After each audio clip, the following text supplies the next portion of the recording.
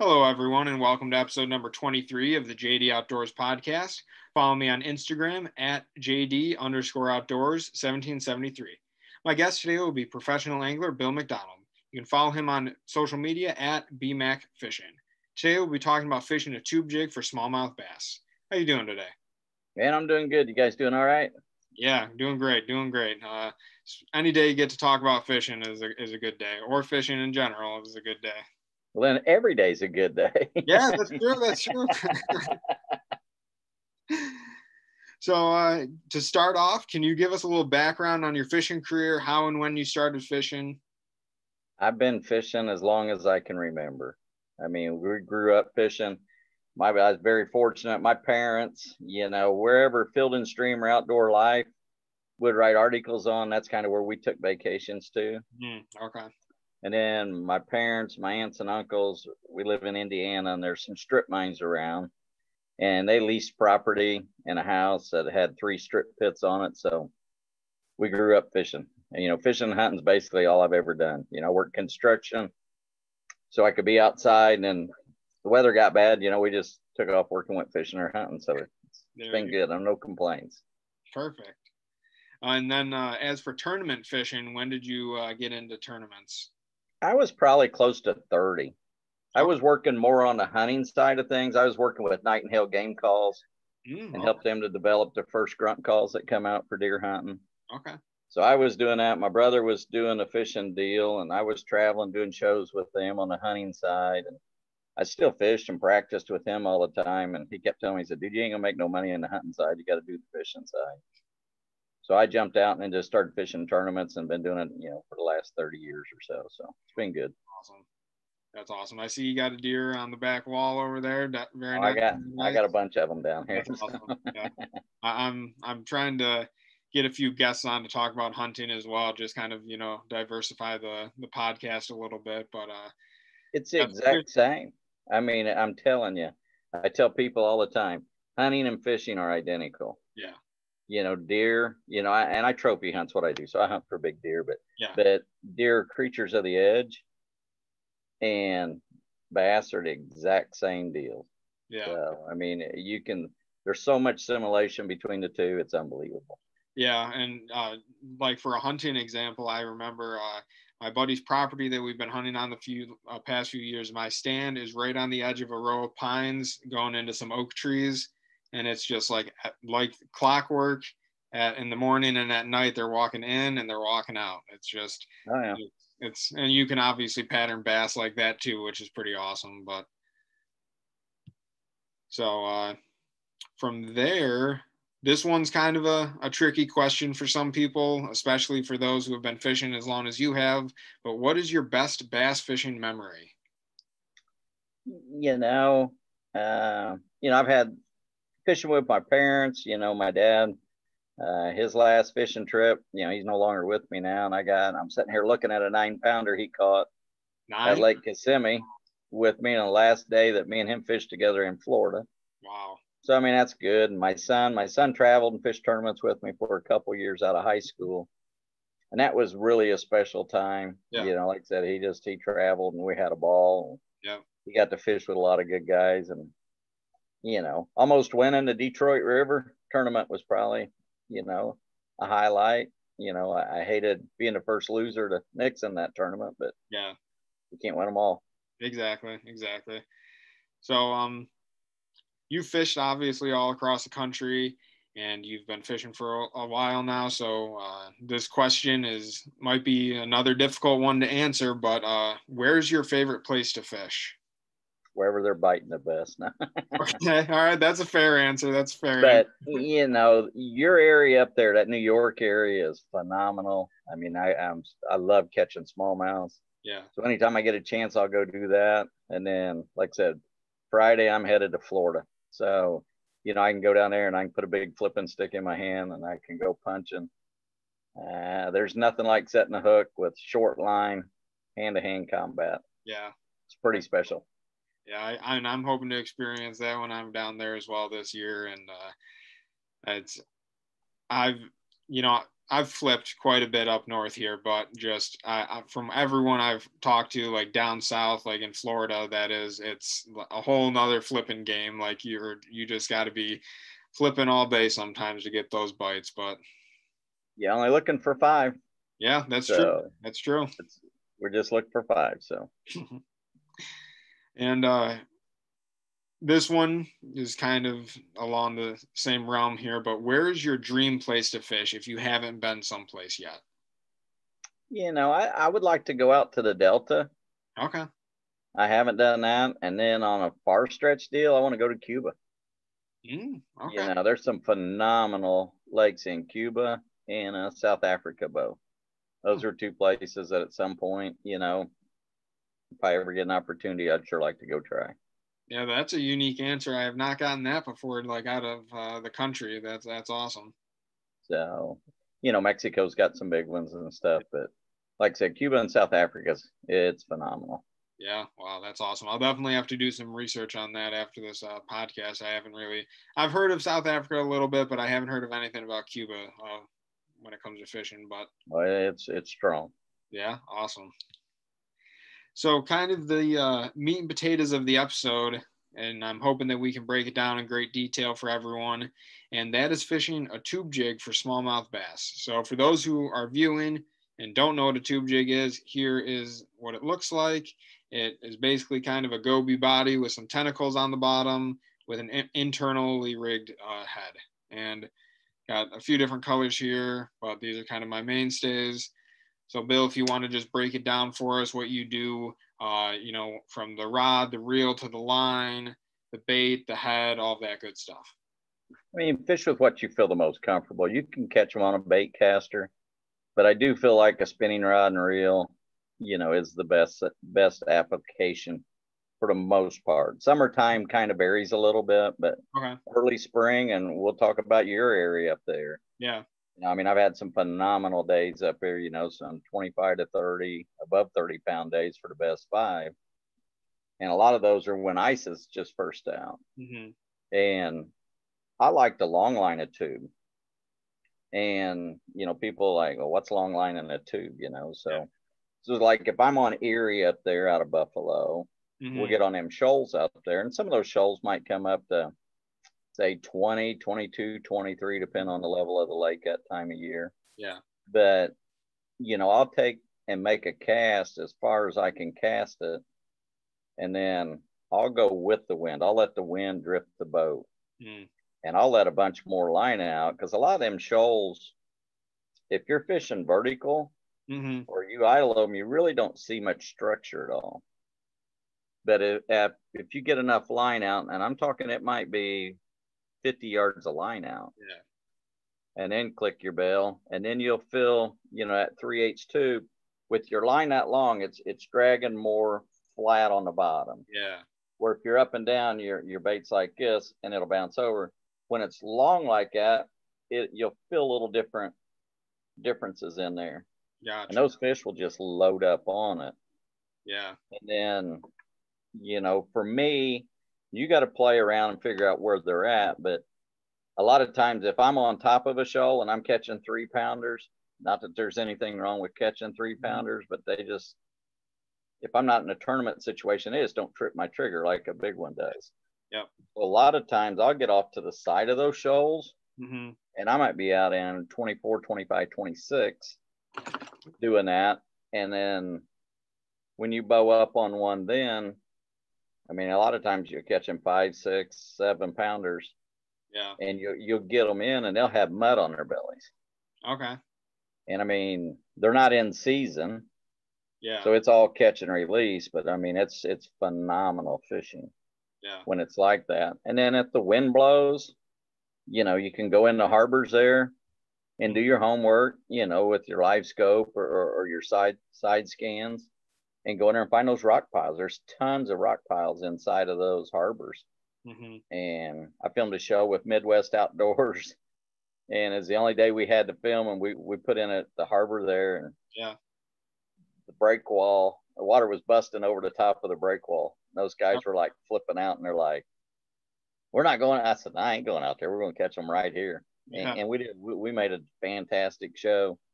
And I mean, they were five, five and a half, six pounders.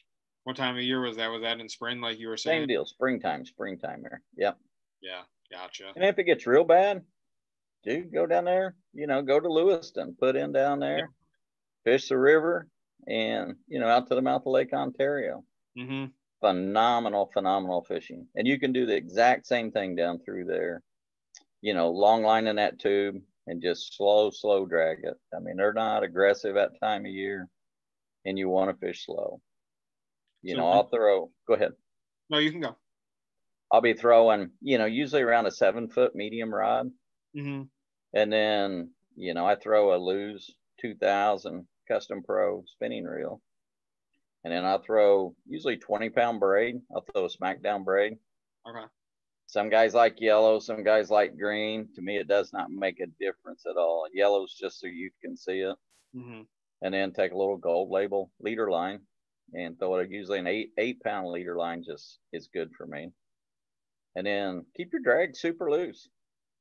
You know, don't get excited. Yeah. Set the hook. There's nothing in the world they're going to hang up on. Oh yeah, for sure. So just take your time. Guys want to horse them in. That's where you screw up. Just take your time and and you know, and guys go uh, eight pound line. I'm afraid you know I'll break off. Do that. I landed a I don't know what was a 52 inch muskie down there on an eight pound fluorocarbon on a spinning rod on a tube. Wow. So I mean, you, you have no idea what you're going to catch. Yeah, that's for sure. And that one, I thought I was hung. And I mean, I'm literally, I'm pointing my rod out, pulling, trying to break the line. All of a sudden, it started pulling back. I'm like, I got something. I don't know what it is, but it's big. You know. How long did it take to land that big fish? I would say it took about 20, 20 minutes or so. Hmm. And what was cool was it was a brand new reel and brand new rod from Lew's. It wasn't even on the market yet. and we're filming. We already had the show shot, so we're just having fun. Yeah. When I hooked that deal, I told guys to get the camera running. So we filmed all that and getting it in. You can hear the drag screaming on the reel and whatnot.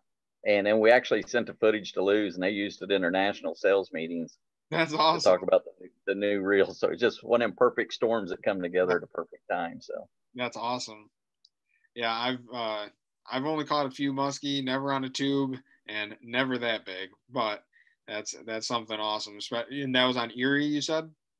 That was actually in the Niagara River. Yeah, that's where I caught my uh, biggest muskie. We didn't measure it sadly, but it was probably like 40 something. Oh yeah. Yeah, I was throwing it, trucking an A rig around, and it was my first day ever throwing the A rig, and I catch one smallie, and I'm like, that's the hardest hit I've ever felt in my life on on a lure. And then so I'm chucking it, chucking it in between these docks, and I'm like, okay, th- I think I got two on here because this one really hit it hard. And then I see it like dolphin kick out of the water, and I'm like, oh boy, nope. And so we we get it in the net, and uh, I was just mind just mind blown at how big of a muskie it was. But uh, yeah, that's muskie are definitely a cool creature and uh, interesting. If you're not in a tournament, I will catch them. I, I, I will. I won't complain about catching one. Yeah, in a tournament, they're no fun. Cut your line, retie, get ready, and go again. Yeah. You'll, you'll, save a lot of time by doing that. So, but um, then as summer turns into, you know, you might want to upsize that line just a little bit. Like I said, you can get by at the bait caster and you know snap that tube. Mm, okay. You know, popping it up off the bottom. But here's the deal: every fish you catch, that fish is telling you a story. Let the fish tell you how they want to bait and how they want to get caught. You know, we all go out there in our mindset, how we want to catch it. You know, we're going to do this, we're going to do that. And that's how we want to do it. And, you know, a lot of times you're working a tube, you're doing your deal, and you're not getting bit. And your buddy in the back of the boat says something to you, you turn around, you're talking to him, you turn back around, you start to pull it, and it loads up. There's one on there. You know, that fish just told you, you you're fishing it way too fast.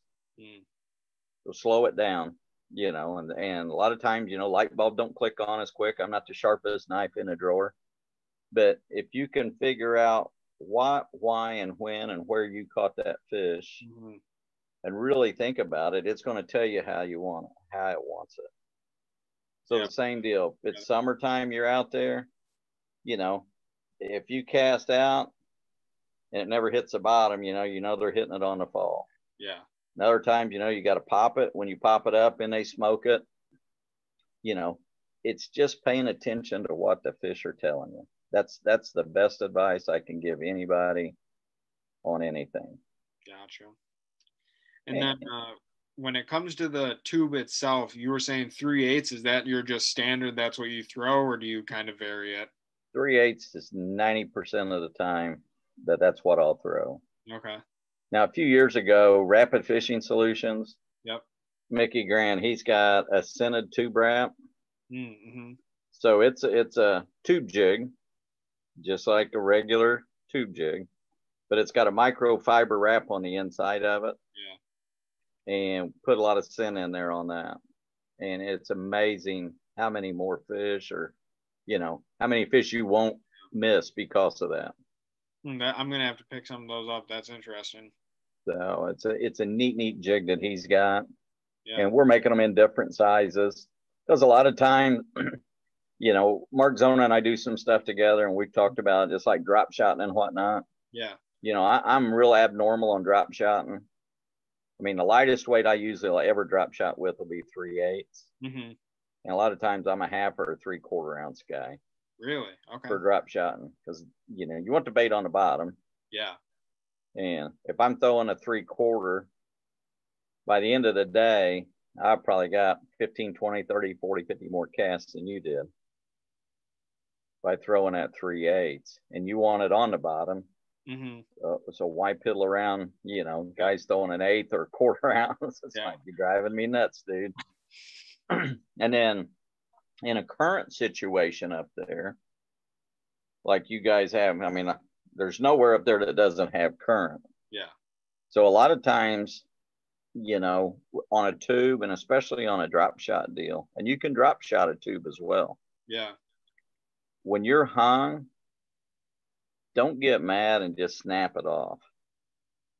So a lot of times when you're hung, just load that rod up about half loaded up where hmm that bait's just sitting there and it, it's in the current and it's doing its deal. And some of the biggest smallmouth I've caught's been that way while I'm hung. Yeah. And, Yep, and I mean, they will flat smoke it. Yeah, it's it's funny. You'll be you're getting all mad, thinking you're hunting. You're I say something to my buddy, and then I'm like, he's like, Jordan, your line's moving, and I'm like, oh, what? And I start reeling, and I'm like, oh, there's one, and yeah, it's definitely awesome when they hit it like that, or like uh, even uh, I, you know, if I'm jerk baiting for smallmouth or something, I, I hit something in the water like a branch or something, and it just stops, and I'm like, oh, all right, got to go get it, and then all of a sudden it's just gone, like line's taken off with a smallmouth that just demolished it. We'll go back to jerkbait there. Yeah. I had a tournament here at home, which we don't have smallmouths here where I live at, but Right. practice day, I mean, I was catching them. They were eating good. You know, I had my cadence down, you know, three jerks, and I'd pause it and jerk it three times, and they just load up on it. hmm Tournament day, I go out to do the same thing. I'm doing it, nothing, doing it, nothing. And I mean, I'd fished an hour or two, not a bite. And guy in the back started talking to me. I turned around. I don't know. As a to me, it was a stupid question, whatever it was. But I'm sitting there, and I turn back around. I go to jerk it, and it just loads up. Yeah. And like I said, I'm not sharpest knife, and the drawer did not click. I go back doing my cadence like I was doing, still not getting bit. He said something else to me, and I stopped for a minute, and then then the light went on. I had a great tournament because then I slowed way down. Yeah.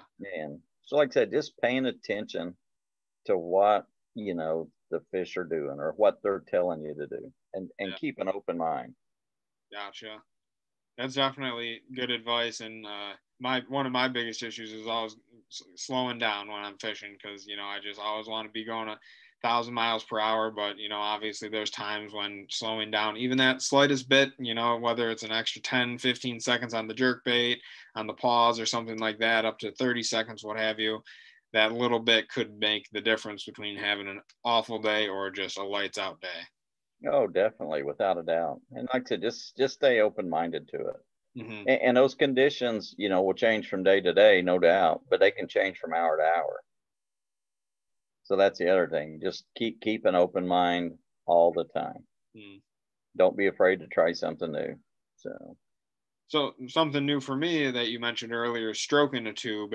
And is there more like I know you said summertime, but is it a water temp thing or is it more like just kind of their location time of year sort of thing if you're going to stroke a tube for some smallies? A lot of times it's just trial and error, but it can be a water temperature, but basically it's just um, say you go over them with your electronics, you see them, you know they're there, you know, and you're you're dragging your tube through them, no bites, no bites, no bites.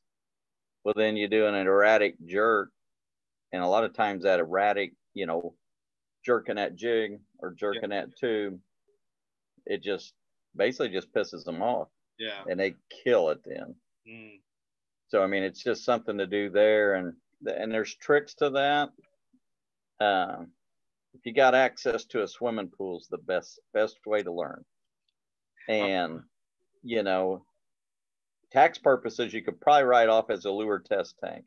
There you just go. saying you might be able to get by with doing that deal instead of you know I didn't put a swimming pool in, I put a lure test tank in. Yeah, there you go. And get the IRS to sign off on it maybe.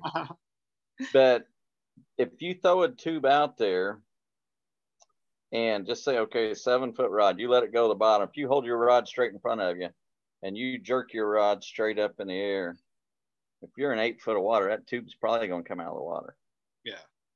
Okay, that's to me is way, way too much jerking on it. Yeah. So, like for myself personally, what I'll do is I'll make that cast, let that jig get to the bottom, wait till my line's got that big bow on it, and I'll stick my rod straight in the air and then you get your bow in it and just drop it and whop it straight back up over your head like that. Okay. And you don't feel much.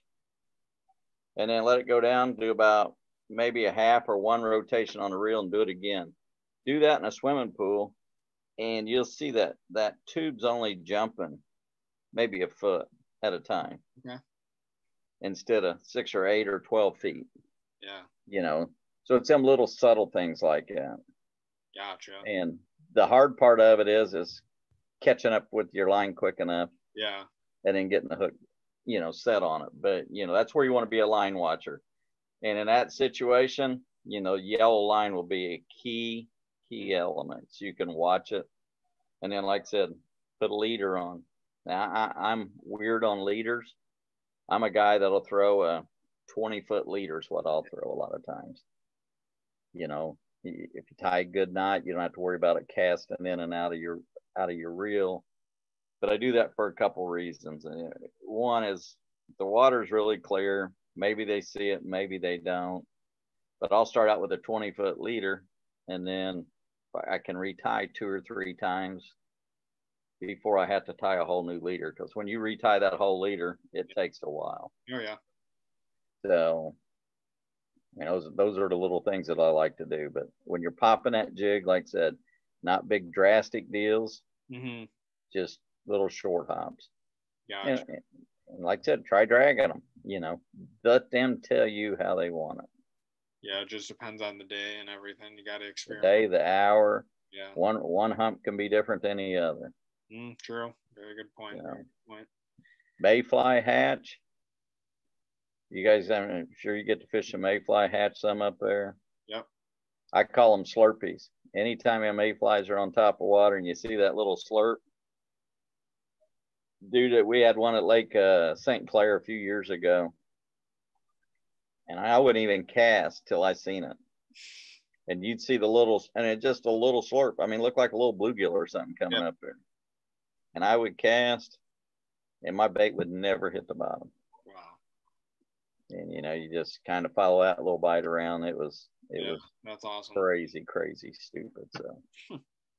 That's cool.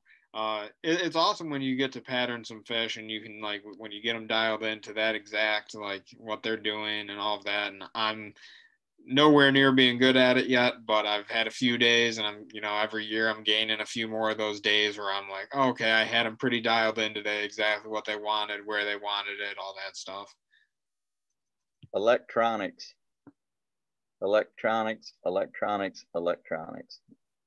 And, and I'm an old guy, so it was hard for me to to do that. You know, mm-hmm. I, I, mean, I come from Indiana. If I was over about four, five, six eyes deep on my rod, I was too deep. That was my depth finder. But I've learned, you know, I roomed with Mark Rose for a long time, and you know, so I've spent a lot of hours in a boat with Mark and a lot of hours on the phone talking to him, and so I've learned. And now with the live scope that Garmin has, yeah, it is absolutely phenomenal. I've heard nothing but good things. I've, I've never been on a boat, uh, someone's boat that has it, but I know people who have it and they rave about it. So it's, I, I would love to look into getting it or uh, testing it out with someone on their boat for sure. Oh, it's worth it. Like this year at Sturgeon Bay, we had the uh, Tackle Warehouse Championship up there. Yep. So my day, I was in the day two series. It was my first day. So I pull up out there on a on a ridge that I'm fishing and under the MLF format rules, you can't make a cast till eight o'clock. Okay. So we put in, and I run out there. Well, I get there, and it's like seven minutes till. And I, I know in my mind where I've got waypoints from practice. I know where I want to start. Well, I get there, and I got the trolling motor, and I'm easing around trying to make sure. And I just look in front of me, and there's like 10 fish in front of me. I'm like, bingo. So I just hit anchor lock right there. So I'm sitting there, you know, you got to watch your watch. Can't make a cast. Yep. So I'm getting my rods ready, all that. And my marshal, he finally counts me down, you know, five, four, three, two, one, lines in. So I make first cast out there. Bait hits the bottom. I just pick up and it's pulling down.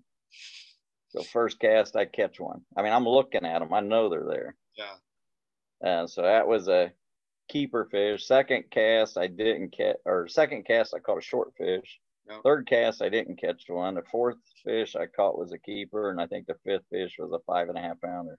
Wow. So it was like, and it's all because I could see them. Yeah. So I mean, it's is it expensive? Yeah, but it's also like I said, you can get dialed in really, really, really quick. It's, it's like being able to sight fish in in deep water. It is. That's it. You know, and I, I'm not good enough that I can say those are bass, yeah. you know, but I can tell a group of crappies from a group of bass without a doubt. But, Mhm. but then when you see something that's about three or four foot long, you're like, well, that's not a bass. you know? Yeah. Exactly. But it's a it's a phenomenal way to fish without a doubt. Yeah, I've got to get better with my grass for sure this year. I spent a lot of time this year working on them, especially on Erie, trying to find spots and like fishing that sand early in the year, late in the year, and you're trying to find those rocks and it uh it's definitely a lot of work to put in, but once you're staring at the screen for hour number two, you're really starting to get understand what you know the different rocks look like and all that good stuff. I mean, there's days we won't even make a cast. Yeah, I mean, literally, you just sit in that seat all day long, idling and looking and marking. Mm, And then, you know, sometimes I'll stop and I'll make a cast and, you know, you get a bite and it's like, okay, I'm done. Get out of here. yeah, And then with the live scope, because, you know, there's a grid system on our screens. So the box is two foot tall and five foot long. So, you know, if I get a fish that's half as long as the box is long and half as tall as the box is tall, I know that's the jumbo. So, you know, you can you can actually tell by some of that how big those fish are. Oh, okay, that's neat for sure. I, I cannot wait now to get my eyes on it because I, you're one of the many people I've heard talk about it, and it just sounds like such an amazing technology that everyone needs to have. And it's a plug and play. I mean, you can tweak it, you can do this and do that, but basically it's a unit. When you put it on your boat, it's a plug and play. And then, you know, you can, you know, I keep my settings in manual now for depth and all. And I, I just adjust it manually to Yeah. the depth I want. But as far as the gain and all that, it's pretty well set, spot on. You can tweak it here and there just a little bit, but for most part, just put it in and go fishing. Yeah. So I had a question that just popped back in my mind uh, when you're talking about stroking the tube, and you talked about Mark Zona earlier. Will you ever bring a tube like this and fish for largemouth, whether it's stupid tube rigged or whatnot? Because I know I've seen an episode or two of Zona where he's uh, stroking them for largemouth. Oh yeah. Oh, without a doubt. I mean, the stupid tube was actually my old partner's the one who who invented the stupid tube. Really? Okay, that's awesome. Terry McWilliams is the one who put the stupid tube together. Yeah. And if you go back, I'm going to go back some years now, uh, early 2000s, somewhere around in there. Terry was a Federation angler out of Indiana Mhm. and qualified for the Bassmaster Classic Wow.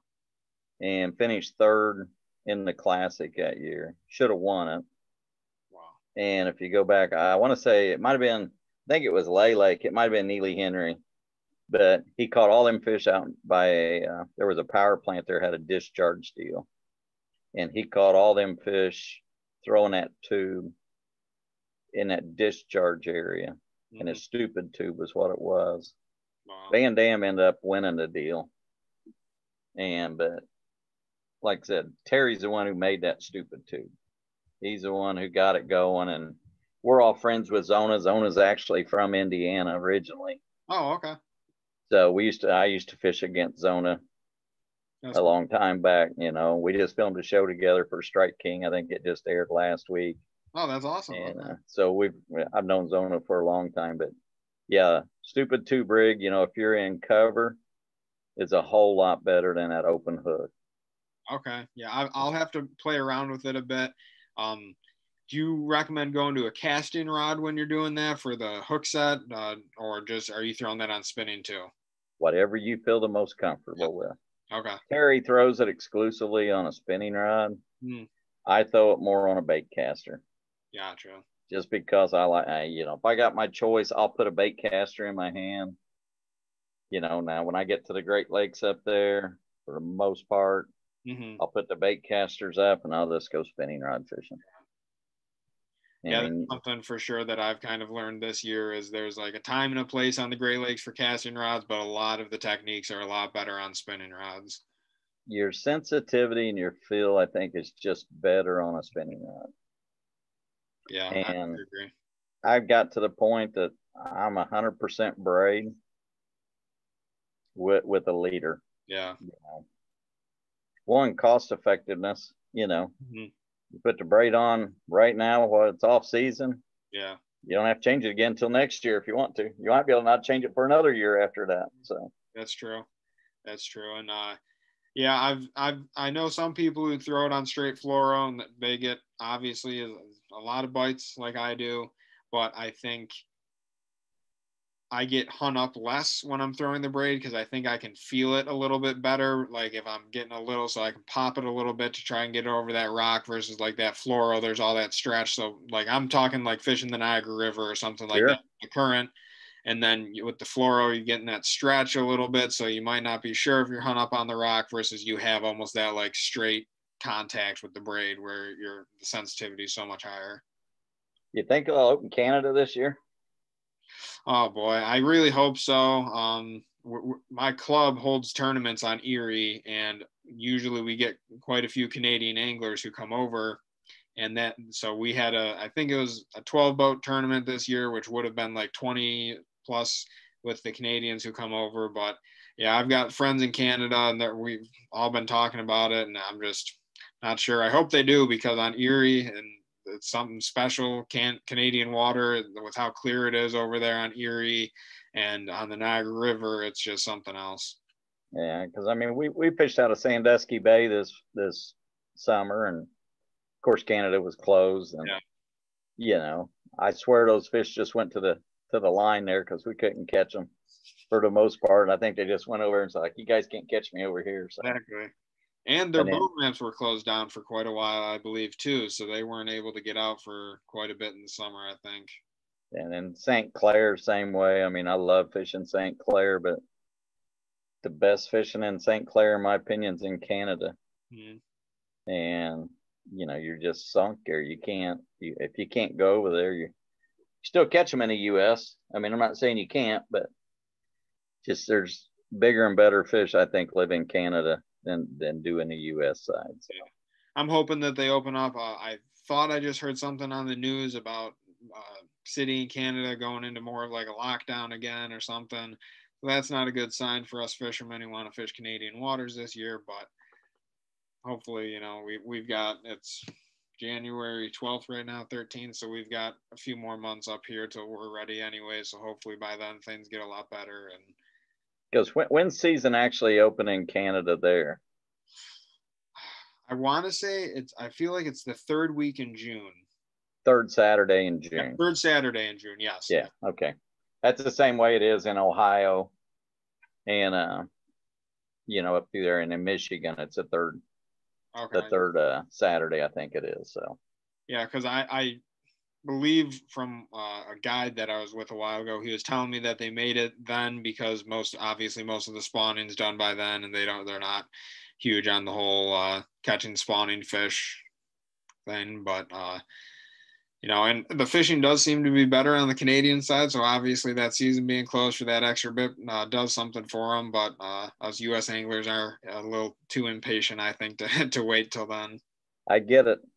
I just always sucks for me because we're in tournaments and I can't run up there just for the heck of it. So Yeah, exactly.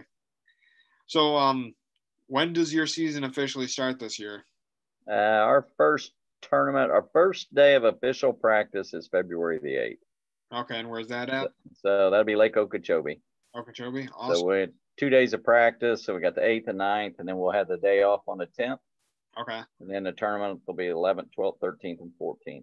All right. So, and I am ready, ready to go. Yeah, that gonna be a big, uh, like you said earlier in the show, big flipping game.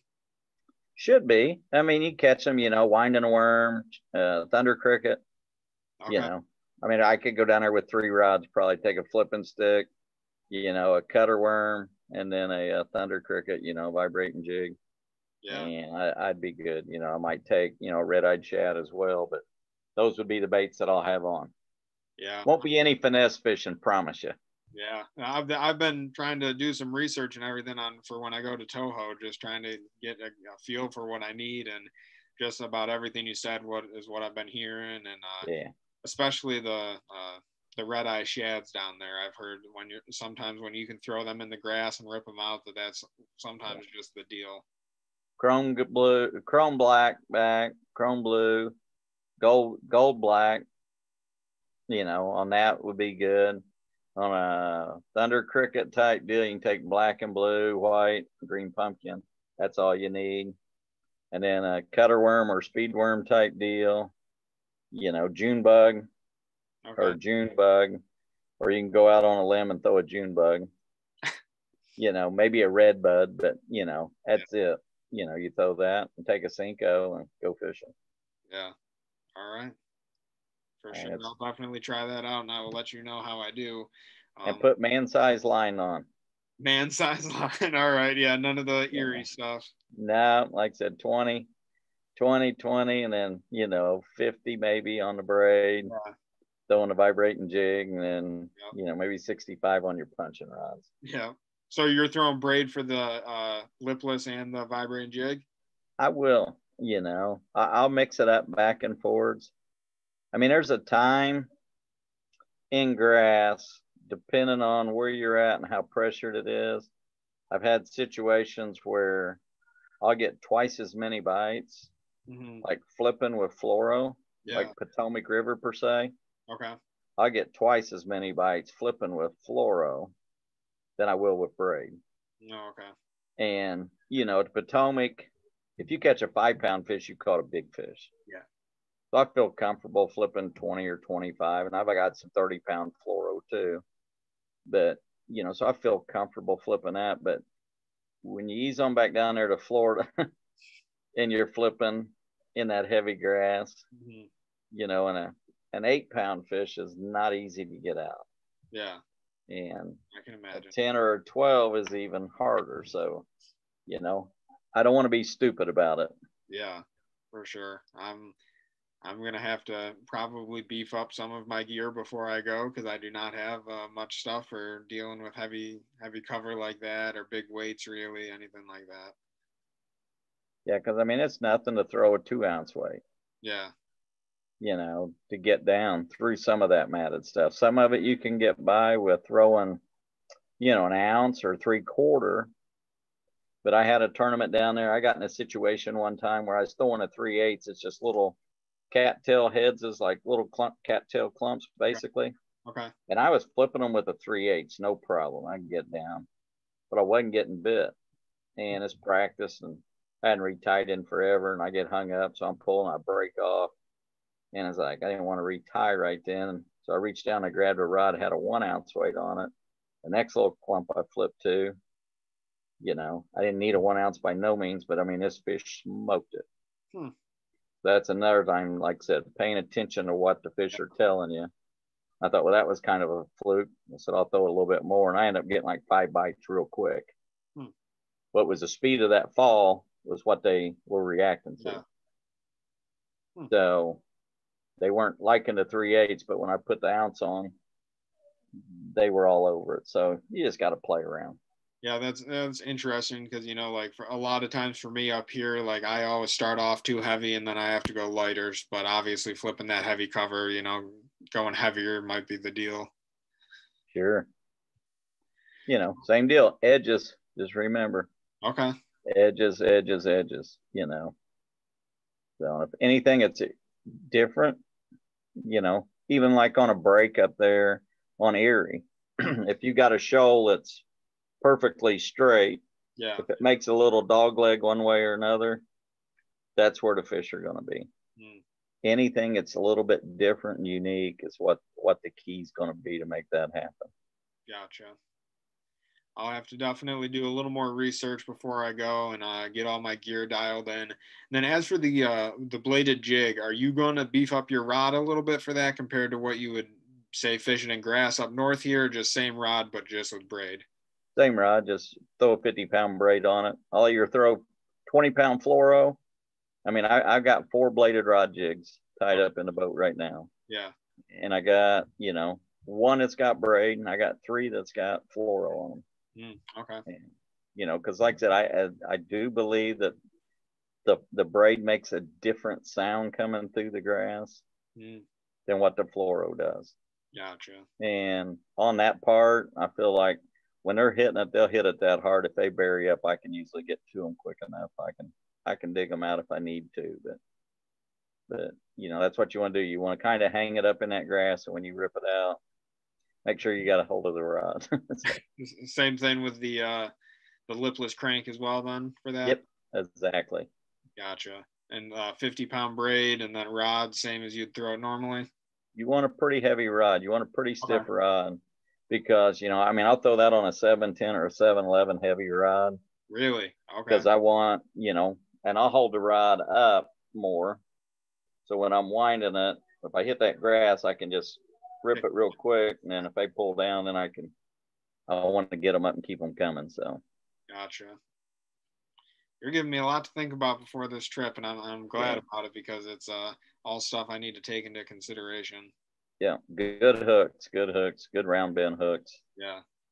You know, some guys like the triple grip hooks, you know, the ones that bend back in. Yeah. And I, I did them for a while.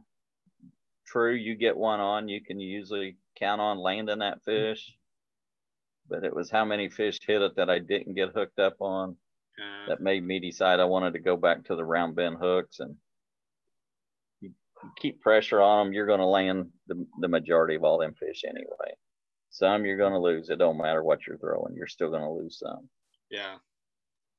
And then, um, you know, I know that this is kind of a Florida thing, but uh, you know, the the bigger, not bigger top waters, but you know, the prop bait top waters. Do you ever mess around with those uh, while you're down there, or? A little bit. I mean, it's good. To me, it's a good practice bait. Mm-hmm. You can see if you can get something to blow up on it. Gotcha. They'll they'll show themselves to it a little bit. Um, there are times I, yeah, I'm not a big top water guy throwing it. I, I do. I got one tied on. There's one in the boat tied on right now. But if they'll show themselves, that's Mhm. good enough for me. Then I'll go back and try to catch that fish. Okay, that makes sense. That's a good And then Yeah. flipping wise, you know, always throwing an extra heavy hook. You know, I throw a Hayabusa FPP hook, five aught, and snail knot. Always a snail knot when you're flipping. Okay. Because when you on a snail, when you throw a snail knot, when you set the hook, that hook turns straight up. Mm-hmm. Those fish are always hooked in the top of the head. Okay. You know, around with it a few times, but I haven't uh, had much success on it. But I'll I'll give I'll take your word for it and use it while I'm down there. Yeah, I'll guarantee you, even up there, you know, casting and all in that grass or just pitching around. Yep. If you'll tie that snail on a straight shank hook, that bait will be in the top of that fish's head. Hmm. Your hookup ratio will go up tremendously. Will you do this now with uh, fluorocarbon and braid or? Yeah, it doesn't matter. Okay. It does not matter. If I'm at home here flipping bushes and whatnot, and I'm just throwing fluorocarbon, it's always straight shank hook, Hmm. always with a snail knot. And then if I go to braid, it's a straight shank hook with with a snail snail knot. All right. Um, any luck flipping the tube while you were down there? Have you ever messed around uh, in Florida flipping the tube itself? Only on beds. That's the only time I'll throw it down there. Okay. Yeah, something uh, you know, I, the tube jig's one of the first lures I really was ever introduced to, like artificial lures. So you know, I've always fished them for smallmouth, but like it's starting to get in my head, like because I know that people have fished them for largemouth for years as well. So I want to kind of get into that because I think it's something that not many largemouth have seen in a while, or what you know. So it's might be something that gets a few more bites re- opposed to a regular creature bait or something. Well, they got big for a while. Guido made them pretty, pretty, pretty big. Hmm. And then, like everything, everybody goes away from it. Yeah, You know, I throw a spinner bait a bunch. yeah. You know, nobody throws a spinner bait anymore. They're boring. They ain't cool. It's one of my Yeah. favorite lures. You know, you got to throw a vibrating jig, which, you know, I mean, I made a lot of money last year on a vibrating jig, Yeah. so I got no complaints on it. But I still love throwing a spinner bait. Yeah. In fact, you have to go back and watch that show Zona and I did last week. I will. We was up in northern Michigan, all smallmouth, all spinnerbait fish. Wow. That's awesome. It, it was pretty good. And then uh, you actually just triggered my memory again about the tube uh, when you said drop shotting it. Are you using the same size tube drop shotting it as you would when you're dragging it, or are you gonna upsize, downsize? I, I might go to, to a quarter, Okay. you know, and, and put it on there in the middle. And, you know, and if the law allows it, put one on the bottom, Oh, okay. double up. Yeah. Because a lot of times when you're drop shotting, they're hitting your weight. Yeah. So, you know, you might double up, you might catch one, you might catch two at a time. Yeah, and like when you're doing that, I've, I've actually tar- talked to Mark Menendez about uh, doing this as well. He recommended it at, at uh, the one seminar I was at. And would you, would you say that when you're doing it, you might take it as a cue, as if they're hitting the drop shot, that maybe, uh, you know, if you're fishing it long enough with the tube on the bottom and the drop shot, that you'll just switch over to just the drop shot if they're hitting it good enough, or will you kind of just mess around with that? Yeah, let the fish tell you. Yeah. I mean, if I throw it out there and I catch five on the bottom and don't catch anything on the drop shot, then I don't need that drop shot on there. Yeah. That's another link that can break. Yeah. So I'll go the other way. Good point. But uh, I, I, years ago, throwing a Carolina rig, I, I went out with a guide down on Lake Fork, and the guy was David Vance, and David was like the best on Lake Fork at the time. hmm And I went down there just exclusively to learn how to throw a Carolina rig. And went down there, and that morning he goes, "Buy a whole bag of those egg weights right there." Yeah. I said, "We're gonna go through that many?" He goes, "Well, just get them. I'll tell you when we get out of here."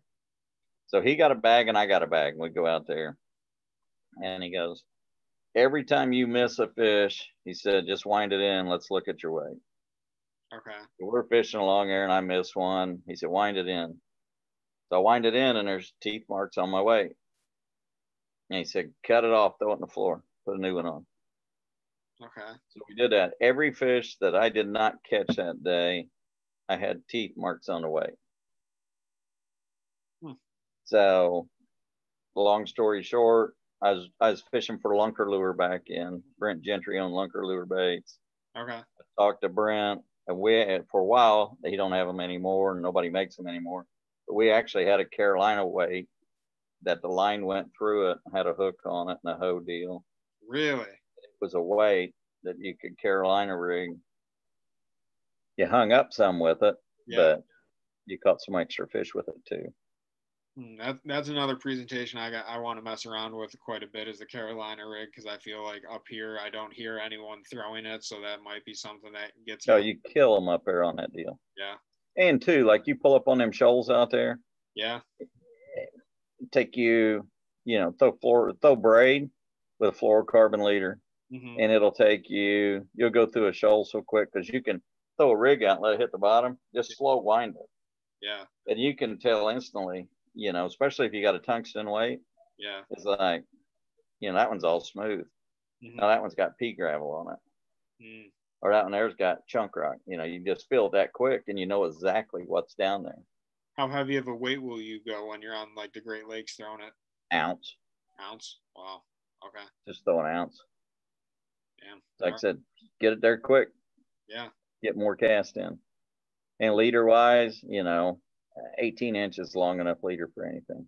Okay. If you're in grass, you might extend it a little bit, but 18 inch leader is about perfect. All right. I'll have to definitely try that out as well. Um, so I just had a few questions uh, to kind of wrap up the show for you, and then I have a listener question segment uh, at the end here. But the first question is, what is your favorite snack on the water? I really don't eat a lot. Uh, either Nutrigrain bar or cashews. Okay. You know, something kind of give you a little boost. I don't drink any pop Yeah. at all. You know, energy drinks are a killer. hmm you know. So water, and then I'll make a roll up in the morning. So I'll have usually a ham and cheese roll up that I'll make with a wrap, and then I'll have a bag of cashews, and I'll have a few Nutrigrains and maybe a protein bar. Yeah. that's it. That's the extent of the food in my boat. I'm a boring guy. Yeah. It's um I, I'm pretty boring when it comes to eating because I don't I don't ever I need to start forcing myself to eat and drink more on the water because like I know I can feel it at the end of the day when I'm hydrated versus when I'm not. And uh I've had every sort of different snack on the boat. No bananas lately because I uh you know I've I I know bananas. I experimented with it and you know we we accidentally brought them a few times and we were like all right we didn't catch anything let's bring them one more time just to see if it hold and we didn't catch anything so I was just all right I'm done with it you know it, it held true so I'll drink on the boat. Now I drink. I drink about 12 or 14 bottles of water a day. wow okay So I do drink. I mean, I stay very, very, very hydrated. gotcha yeah that's something that I need to get better at and I think everyone can get better at for sure on the water because we kind of take it for granted I think that we are fishing but it is a sport and it does take a lot out of you to do and you know Oh, definitely. especially and Gatorade? is It's like Gatorade, you know. Um, Gatorade's all sugar. yeah You know, if you got to have a Gatorade, drink half of it. hmm You know, don't drink it all at once. I mean, that's just it's just a ton of sugar. It's just yeah it'll give you a boost to a certain degree, but yeah like I but- said, they got some additives now you can put in your water, which is a whole lot better than the other way around. So, yeah exactly all right um so next question which has to uh, kind of do with the same a little bit but uh do you have any tips for staying positive on the water as you just said obviously with hydration but are there anything in particular that you uh, would point out yeah, just that next cast. yeah I mean, it's that next. I come from Indiana, and I always make jokes. We got six fish in Indiana. We take turns catching. So I mean, a lot of tournaments in Indiana. In Indiana, I mean, it could be a two or three fish day, two or three bites all yeah day long. I mean, our fishing is terrible for the most part. So I mean, I learned that you got to stay positive because that, you know, because it's going to happen usually that last half of the day when mentally, if you're not up, you know, you'll be asleep and when you get that bite. So you got to stay positively focused the whole time. And, you know, you got to believe it. The next cast is going to be a fish. It's an addiction. okay So, I mean, you got to stay focused the whole way through. I mean, I, I've literally caught, you know, on the last cast a six pounder and one big bass in a tournament, you know, pay 1100 bucks on the last cast. So, you know, I could have went in early. I didn't have another fish to even weigh in. Wow. So I'd fished all day without a bite, period. Wow. And it's like I ain't going in early. You know, if you see me coming to the weigh in early, I got them. You know, I, I know I got them, so I'm coming in a little bit early to give myself a cushion. So there you go. All right. So then uh, the listener question segment, the question we got today uh, from Facebook was I would like to know about using my boat in the wintertime and if there's any way to get around winterizing it. Now, I believe whoever asked the question is from up north like me, so I you can answer the question, but I don't think there's many ways to get around it, but keep it in a heated garage. Yeah, that's all I, I mean, that's the best thing. And I mean, you can get them. Before what was you that? Store, out there for a second. Before you store your boat, fill your tanks as full as you can get them. Okay, well, before that, you, your last time you're going out, you know, okay, this is my last weekend. And I'm sponsored by Lucas, so I'm going to plug their products, but I'm plugging it because it's the best product made. We broke everybody else's down. Yeah. But I would get some some ethanol, safeguard ethanol treatment by Lucas. Put it in your tank and run it in your boat that day. Okay. It's one ounce per five gallons. It's real simple math. Put it in there. If you put a little bit too much, that's okay too. Mm-hmm. Put it in there. And you know, guys will say, Well, I filled it up. I put it in there while I stored it. Well, that's not doing anything but treating that tank. You want it to treat your lines, your mm-hmm. carburetors or your injectors, the whole thing. You want it through your engine. Gotcha. But then fill your tanks as full as you can. Because guys will say, well, I mean, I want to run all the gas I can out. Well, if you got a 25 gallon tank, it's empty. Okay. It gets hot, mm-hmm. then it gets cold. That creates condensation. The bigger area you got, the more condensation it's going to build in that tank. So the less room for condensation, the less condensation, the less moisture you can get in your gas. Gotcha. So, right. you know, put that in there, put ethanol treatment in there, and then like the, I don't ever, I never winterize a boat, but I keep mine in my garage. You know, mm-hmm. I still fish. You know, I out a few weeks ago and busted some ice and still fish.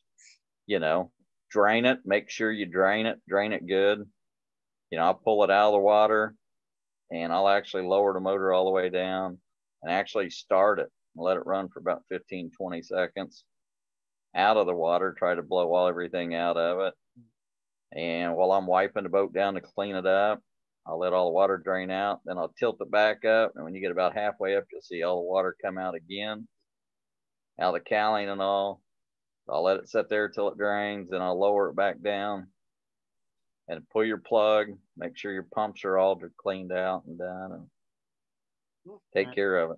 Yeah, that's pretty good. And if it wasn't working when you put it up, it probably didn't fix itself sitting there. So your marinas are starving for work right now.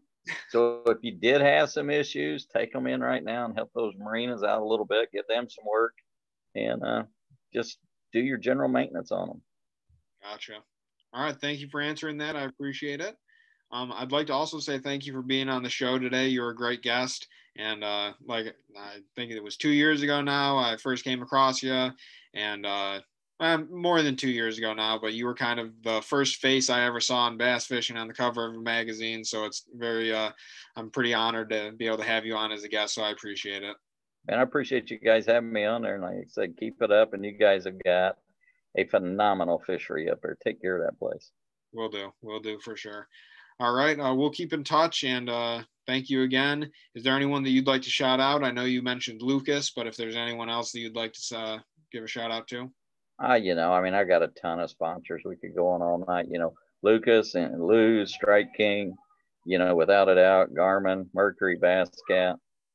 I mean, there's a ton of them, Power Pole, Jack, or Bob's Jack Plates, Seaguar Line. I mean, they all everybody keeps me going. You can go to Bill McDonald Fishing on my website. You can see everybody's listed on there. And okay. you know, the only thing I ask anybody is give them a shot. You know, I don't take sponsors lightly. They're long-term partnerships. This is my 20th year with Strike King. Wow. So I've been 12 years with Lucas, and I mean, so I take it, you know, I take it personal when I get a sponsor. They're not a sponsor; they're a partner. Hmm. All right. So they're supporting the industry. Help support them. Will do. Will do. Thank you again, and thank you to all the listeners uh, for tuning into this episode. Episode number 24 will be out shortly, and these episodes are brought to you, as always, by Wu Tungsten, Tacticalories, X Zone Lures, Rika Outdoors, and JD Outdoors Lure Co. Thanks for coming on the show. Appreciate you, man.